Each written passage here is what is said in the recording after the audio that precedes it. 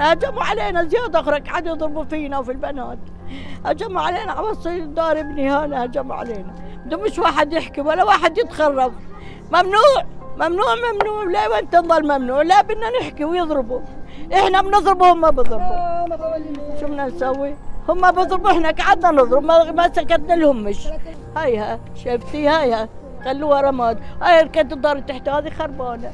مش أول مرة صارت هاي عليها الدار والله بجوز كانت تسقف هاي إلا حلا أول مرة هدولي بال 99 كانت أول مرة ببني فيها. بعديها رحنا على البلدية و... وعلى المهندسين نحاول نطلع ترخيص. كان دائما في آه، تضييقات وصعب يعني الواحد يطلع ترخيص. بنينا كمان مرة بال 2001 كمان اجوا هدوا لنا اجوا حطوا لنا أمر هدم. في مرة هدوا لي بعد ال 2003 إجوا هدوا خمس ست بيوت البلد وهدوا بيت بيناتهم بس ما كان عندي لا أمر هدم ولا أمر توقيف ولا عمرهم أجوا عندي.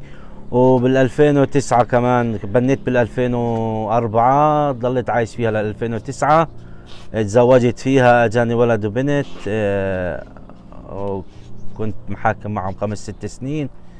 بالمحاكم آه، حبسوني عليها سنة بال 2008 بعد ما طلعت من السجن بأكم من يوم آه، تفاجأت يجوا هجموا علينا. الفش عندي أي يعني آه، خبر إنه بدهم يجي يهدوا ولا داري معرضة للهدم ولا أي أي شيء كنت عندي مخالفه دافع المخالفة ومحبوس ومسكر على أساس إنه مسكر الملف انتهى الملف. اجوا كانت يعني هذه نقطة التحول في حياتي وحياه عيلتي. بشكل مفاجئ 2019 اجوا هجموا علينا وهدوا البيت. حكينا مع المهندس حكى أنا نفس الشيء متفاجئ ما حكوا ما في هدم أهجوا هدم.